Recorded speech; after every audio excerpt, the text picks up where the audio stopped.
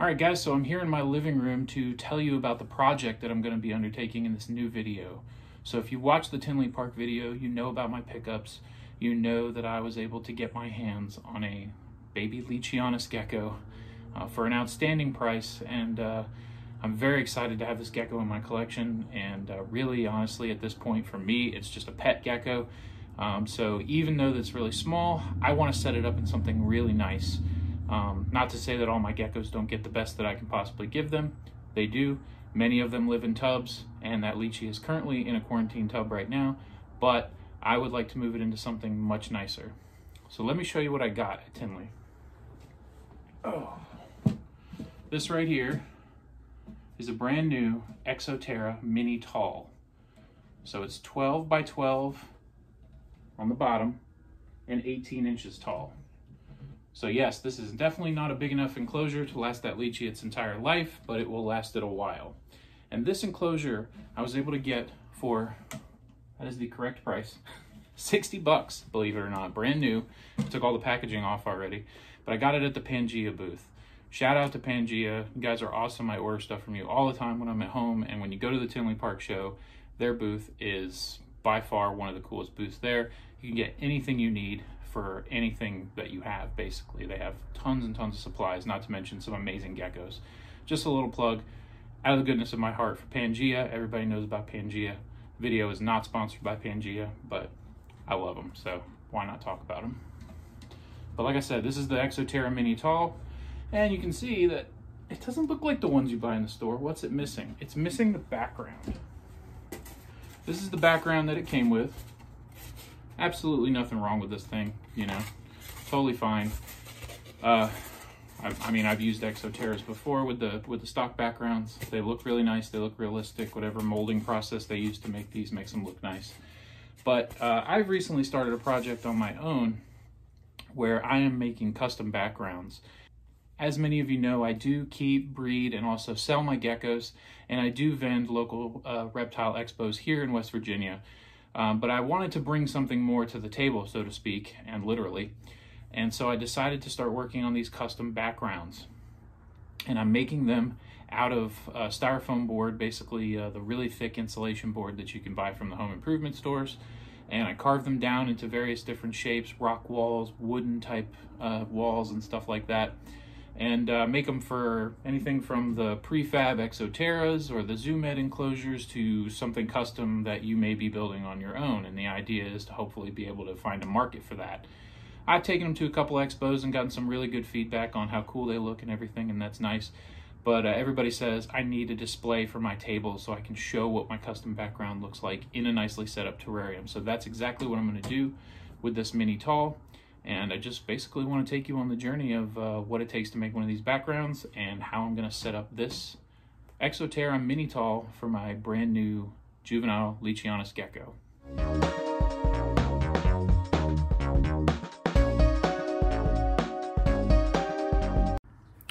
All right, guys, so before we actually get into this cage build and this background design and everything, I really wanted to go into a little bit more about, you know, what my leachie that I purchased at Tinley actually is and, you know, and who I got it from and sort of my experience buying him.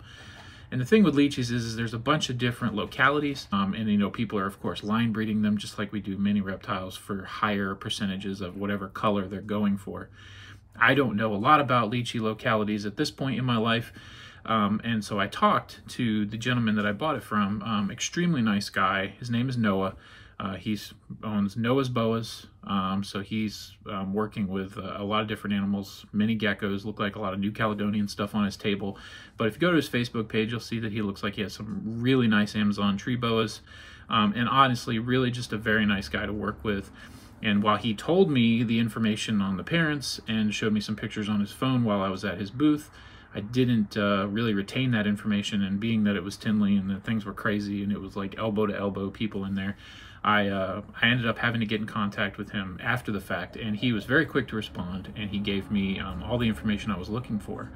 So uh, I'm going to go ahead and show you this little guy real quick, and then we'll talk about uh, sort of his parent parentage and or lineage, and uh, what we can expect to see from him um, in the coming years as he grows and develops.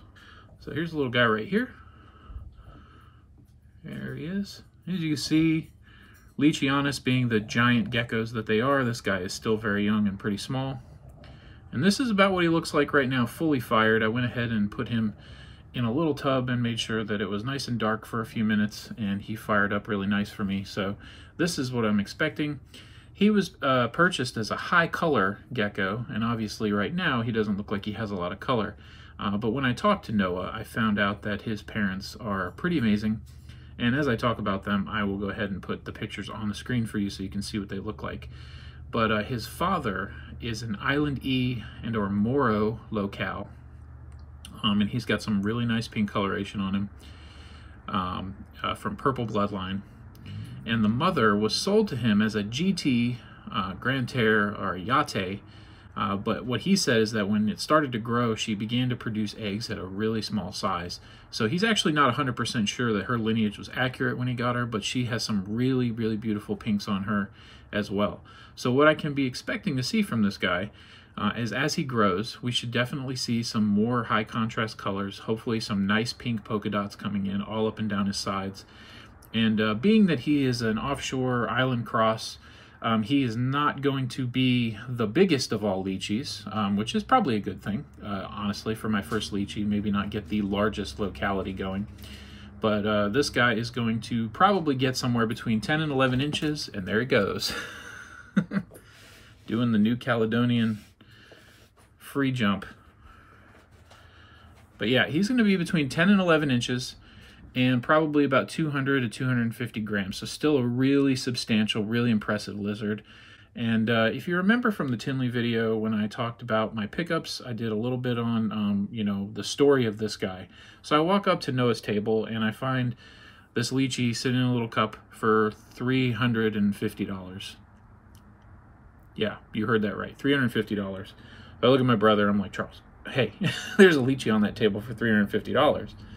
So I said, um, hey, we need to go take a look at that. So we did. We walked over, we took a look, we started talking to Noah about it. And I mean, he just really seems like a genuinely honest guy. So when he uh, told me what was going on, he said that this guy ended up coming out, you know, as a hatchling with like the very smallest of underbites, which basically means that his lower jaw protrudes out just the tiniest amount past his upper jaw. So, um, you know, he's got what would by many be considered to be a small defect. Um, and so he just didn't feel right charging, you know, eight nine hundred dollars for this baby Leachianus with this with this small defect. And he figured, you know, I'll bring it to the show. I'll be honest with people, which is really appreciated, and I will tell them, you know, what's going on. And you know, if somebody wants them, then that's great. And for me, honestly, that was perfect. You know, I was sort of blowing my budget at Tinley, as many of us do. There's just so many different things to get so I had already got quite a few things, and uh, you know, 350 was more than fair. So I went ahead and picked him up. And, you know, uh, I'm really happy I did. Like I said, this guy's pretty much just going to be a pet for me. Um, it's possible that if that underbite sort of corrects, which I had heard from a couple other breeders at the show, that if he's, you know, kept in the proper levels of calcium and protein as he continues to grow, that underbite might correct itself, then maybe one day we'll consider finding a mate for him. But that is not priority right now. Right now, I just want to set him up in something really nice. I want to watch him grow, and I just want to enjoy having a leachie. Alright, so as you can see here, I start by taking the old background and using it as a template so I can get that thing exactly the size I need it. Basically, I just take a hacksaw blade and I cut out the basic shape of the background and then take some sandpaper and just sort of even up those edges a little bit.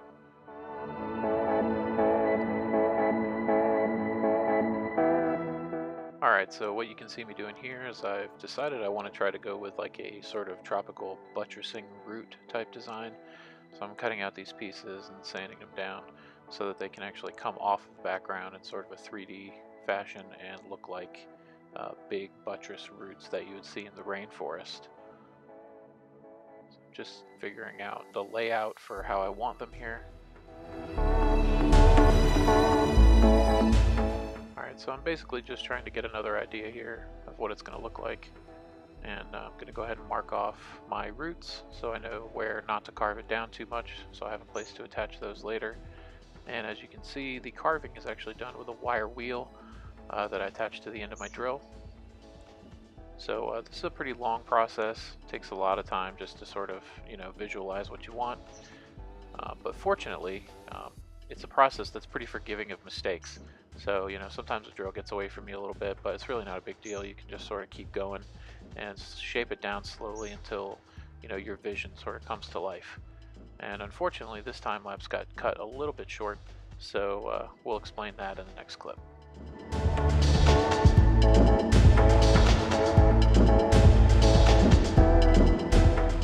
Alright, so here's a couple of shots of the background um, after the carve, and then here you can see after the first couple coats of the paint. So we'll go into explaining exactly what happened here. Here's the background in its current state. You can see it's already taken some paint.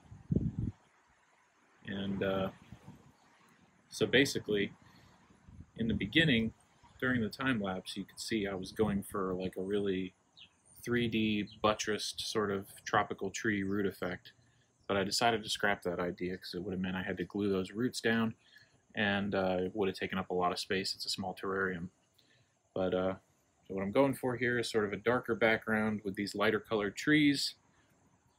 And I've already done the base coat of paint, which is all this dark brown color, and then the next coat on the actual trees themselves and the root systems down below.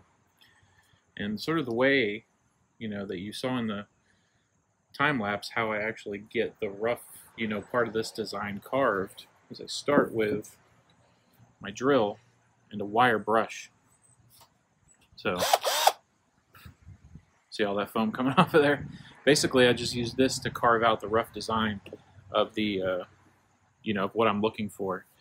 And uh, then what I can do is I can come in with my soldering iron and this little fine tip here, and I can get sort of these really deep, these really sort of deep sections that you see in here around the trees that really give it that 3D effect. See how deep in that goes? That was with the soldering iron. And you know, you can make a couple of other little effects like these, you know, deep gouges down here for the roots. And then, you know, when I begin to paint, I use Drylok. And I get the white tintable Drylok. Um, so basically this is a masonry waterproofer. Uh, it dries really hard, almost like rock. Um, and I buy the white tintable so that I can change the color, quite obviously. So some of the colors I use are these Quikrete, this charcoal uh, color here, and then I have the, the buff Quikrete dye. So basically these are dyes that are used to color concrete, and they work really well for this as well. Recently come into some information that you can use a small amount of acrylic paint to change the color as well. So I have this green acrylic paint here just a really cheap little bottle of acrylic paint you can get from Walmart. And I'm going to use it to try to make some moss colors on this thing on the final uh, part of it. And of course, cheap paint brushes. Always use the cheap paint brushes for this. Um, occasionally you get a bristle come off here and there, you can just pick it off. But, you know, this stuff's pretty hard on brushes, so really get a couple uses out of them and then you want to get rid of them. So that's what happens with that.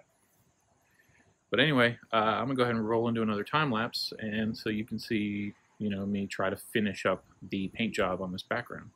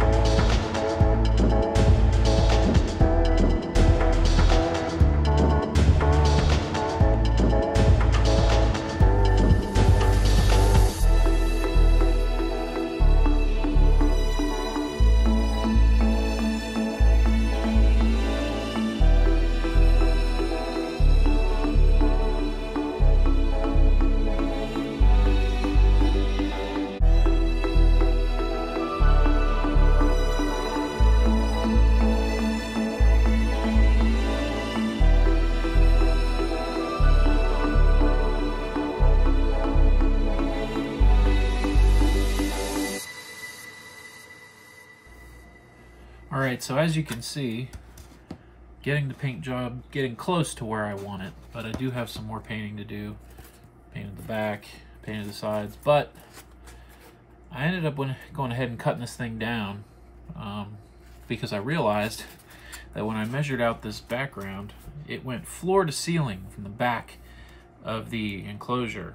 And I have this really intricate root system design down here that I'm pretty proud of and I'd like to be able to show off. And I realized that if I didn't cut off some of the top so that this would go further up in the enclosure, that uh, all pretty much all this root system is going to be buried under substrate. So I went ahead and took a few inches off of the top. So I lost a little bit of the intricacy of my branching design up here, but I think I'm still okay with it. So uh, I'm going to go ahead and uh, try to finish this paint job so we can get on to actually putting this terrarium together today.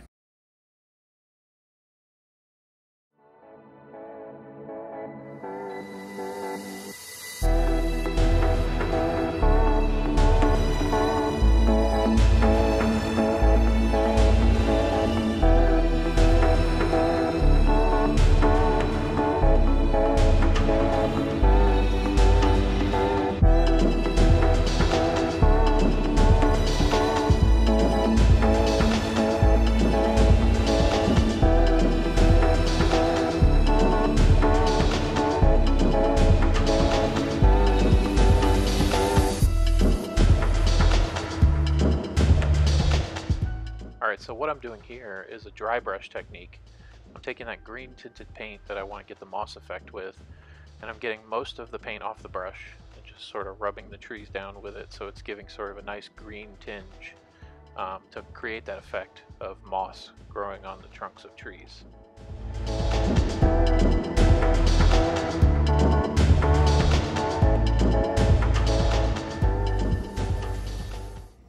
So just about 10 minutes ago, I got my notification that FedEx package was delivered from Pangea.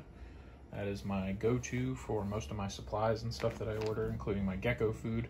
But they also carry a huge range of supplies. And for the bioactive stuff that I've already done with my tubs, um, I've used this substrate from them before. It's their ABG or Atlanta Botanical Gardens mixture. It's a really good substrate for bioactive tanks. The isopods and springtails do really well in it. And the other crucial part, which I haven't actually ever used before, I decided to sort of go my own way for my tubs and use pea gravel, which is extremely heavy and hard to move around. So I'm very excited to go with this uh, clay ball drainage. Uh, Pangea calls them the aqua balls. You can also find them online labeled as Hydroton. So basically what I'm going to be doing is going to be rinsing these guys out, getting all the excess dust off, and this is going to be my drainage layer for my bioactive terrarium for my new Leachianus gecko. So what I'm doing here is cutting some window screen for the separation between my drainage layer and my substrate.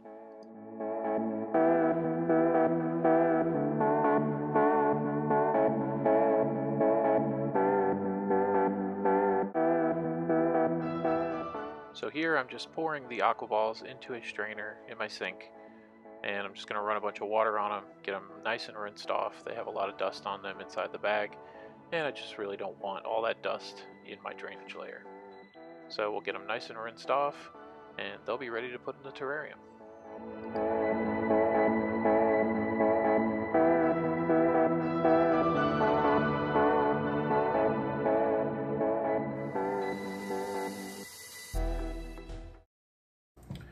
Alright, so as you can see, I've got the terrarium here.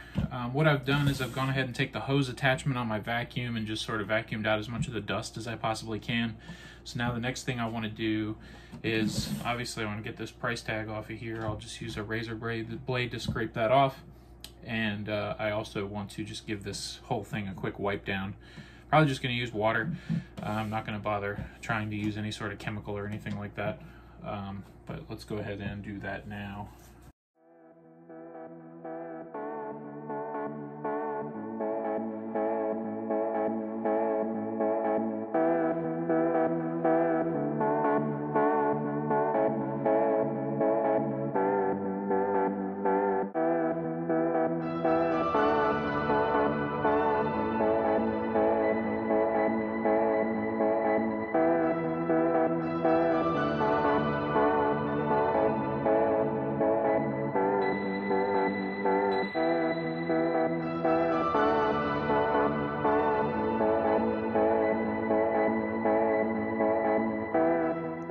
Here I'm adding the aqua balls for my drainage layer.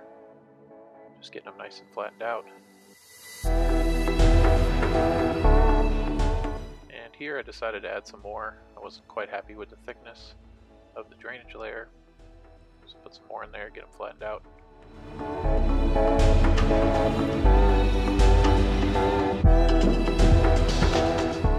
So an important aspect of how these bio balls or aqua balls work is they basically have a lot of surface area on each ball so they grow beneficial bacteria which just sort of helps keep your ecosystem in your terrarium in balance. So now I've fit that piece of screen that I cut earlier and that's going to create a separation between my substrate and my drainage layer because ultimately I really don't want any of my substrate mixing with my drainage layer.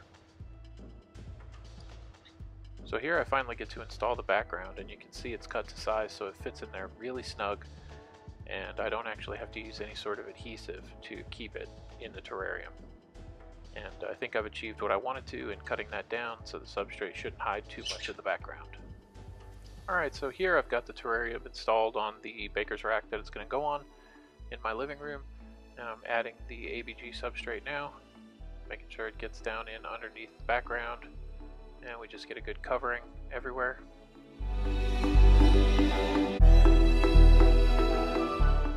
We can see that screen is working really well to separate the substrate and the drainage layer. So we'll go ahead and add the rest of the ABG now.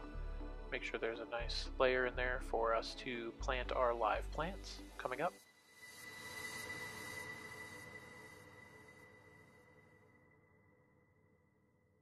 So here I'm just trying to hardscape the thing with a couple pieces of cork bark that I picked up. And uh, there's not a lot of room in this terrarium, so I'm really only going to end up using a couple pieces. It's basically just trying to figure out what's going to work best. So filming myself putting in these plants proved to just be too complicated, so I went ahead and did it without filming it, and I'll just show you the result. See, I have some pothos planted along the back there, and I was able to secure these longer pothos vines to the background using a little bit of uh, gel super glue, just a couple little pieces. Safe for the plant, safe for the animals, dries up nice and clear. And I also fashioned a nice little hanging plant here. It's artificial, so I don't have to worry about that dying. So next step is I'm gonna add some leaf litter to the bottom, and then I'm gonna add in my cleanup crew, some powder orange isopods and tropical white spring springtails. All right, I got the leaf litter in, so as you can see here, I have a good assortment of tropical white springtails from my own personal culture. So I'm just gonna go ahead and make sure they're all in the water and just sort of dump them about.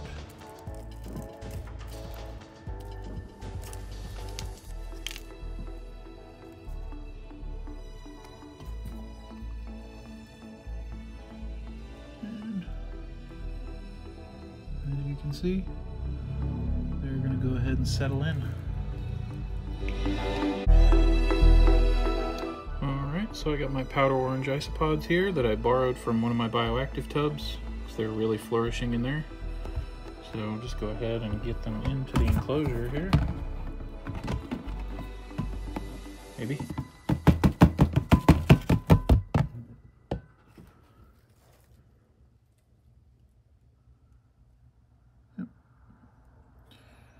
There they go. Off to do their isopod things. All right, and we are all set up. So she's all planted, hardscaped. She's got drainage layer, substrate, leaf litter, nice water dish back there. And the final touch, one of my handmade feeding ledges that hold the half ounce feeding cups. Magnetic. Definitely will work for the little leachie for now. Not strong enough to hold him when he's an adult, but it's not going to live in this thing for very long. Anyway, there we go. Now all there's left to do is introduce the leachie. Alright, so I got our little guy here. He is looking absolutely beautiful right now. Go ahead and just Let him crawl out onto the cork bark and get used to his new enclosure. And he's gonna go hide right away. And we'll go ahead and put a food dish in there for him tonight. We'll just let him get settled for now.